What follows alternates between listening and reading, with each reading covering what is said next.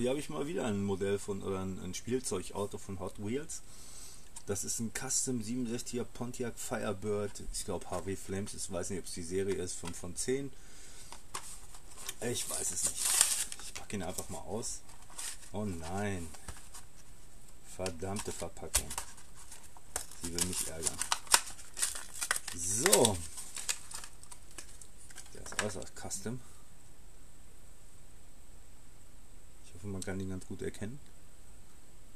Er ist so custom, dass er einfach mal gar keine Motorhaube hat. Das ist ja, oh, das ist ja custom hier. Sieht auf jeden Fall ganz cool aus. Passt perfekt in meine Sammlung. Wenn es den online irgendwo geben sollte, werde ich ihn euch natürlich verlinken. Ansonsten guckt einfach mal bei Real oder so. Ich wünsche euch noch einen schönen Tag. Bis denn dann.